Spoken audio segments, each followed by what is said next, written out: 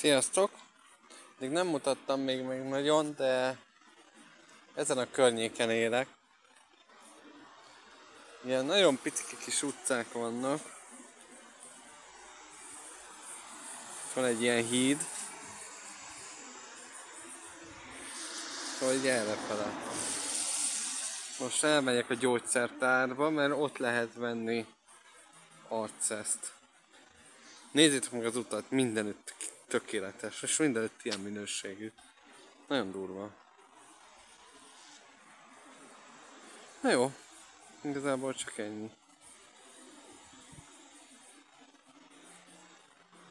Megyek tovább.